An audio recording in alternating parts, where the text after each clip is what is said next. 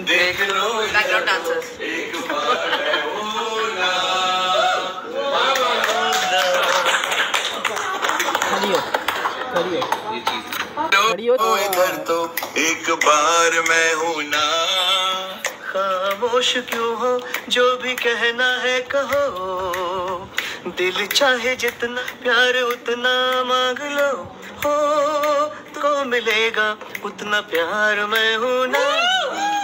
है ये तुमको, इंतज़ार कभी भी जो है वो दीपिका शिव रोहान को छोड़ने नहीं चाहते पर फरा मैम ने जो है बड़े बड़ों की पार्टी रखी थी घर पे, जिसमें जो है रोहान को छोड़ के गए हैं। आप लोगों को जो है फरा मैम के साथ दीपिका शिव का रिलेशन कैसा लगता है? कॉमेंट करके ज़रूर बताएँ।